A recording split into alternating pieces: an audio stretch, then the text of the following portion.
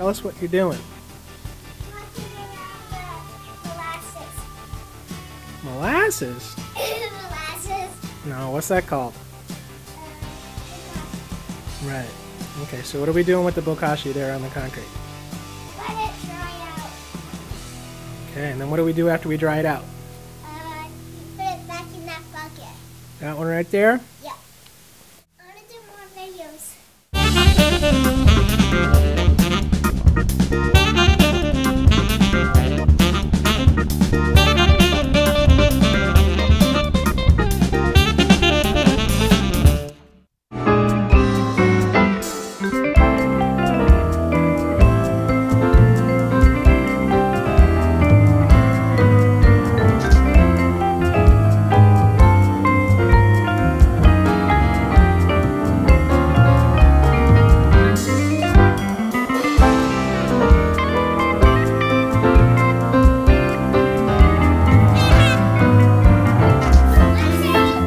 Ah!